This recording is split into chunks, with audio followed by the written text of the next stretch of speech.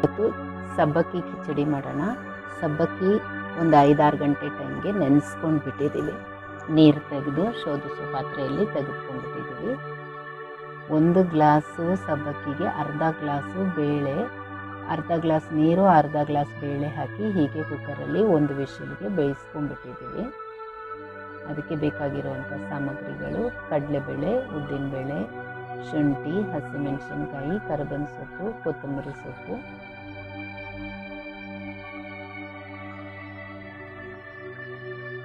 ತೆಂಗಿನಕಾಯಿ ತುರಿ ಲಿಂಬೆಹಣ್ಣು ಜ್ಯೂಸು ಈಗ ಒಗ್ಗರಣೆ ಹಾಕ್ಕೊಳ್ಳೋಣ ಎಣ್ಣೆ ಹಾಕ್ತಾ ಇದ್ದೀನಿ.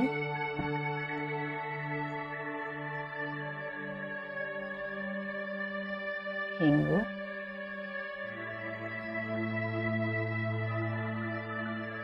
ಸಾಸಿವೆ.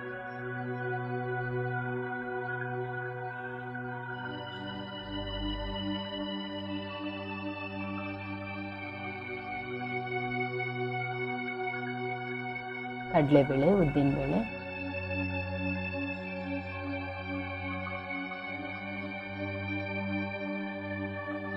ಇದು ಸ್ವಲ್ಪ ರೋಸ್ ಕಲರ್ ಫ್ರೈ ಮಾಡ್ಕೊಳ್ಳೋಣ.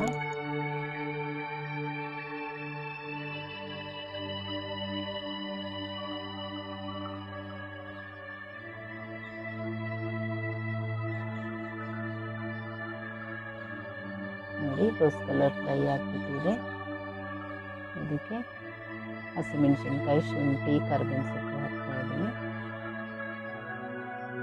ಒಂಚೂರು ಅರಿಶಿನ. ಈಗ ಇದು ನೆನೆಸ್ಕೊಂಡಿರುವಂತಹ ಸಬ್ಬಕ್ಕಿ ಇದಕ್ಕೆ ಹಾಕ್ತಾ ಇದ್ದೀನಿ. ಬೇಯಿಸ್ಕೊಂಡಿರುವಂತಹ ಬೇಳೆನೂ ಇದಕ್ಕೆ ಹಾಕ್ತಾ ಇದ್ದೀನಿ. ತೆಂಗಿನ ತುರಿ. ರುಚಿಗೆ ತಕ್ಕಷ್ಟು ಉಪ್ಪು.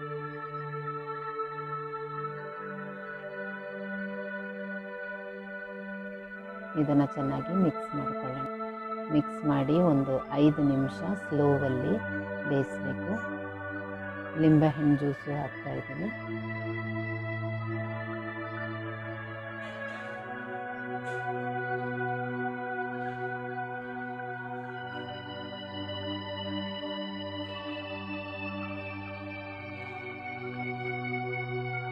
ಕೊತ್ತಂಬರಿ ಸೊಪ್ಪು ಹಾಕ್ತಾ ಇದ್ದೀನಿ. ತಟ್ಟೆ ಮುಚ್ಚಿಬಿಟ್ಟು ಒಂದು ಐದು ನಿಮಿಷ ಇಟ್ಟರೆ ಸಬ್ಬಕ್ಕಿ ಕಿಚಡಿ ರೆಡಿ ಇದನ್ನು ಸರ್ವಿಂಗ್ ಬೌಲಲ್ಲಿ ತೆಗಿತಾ ಇದ್ದೀನಿ. ಎಷ್ಟು ಬಿಡಿ ಬಿಡಿಯಾಗಿ ನೋಡಿ.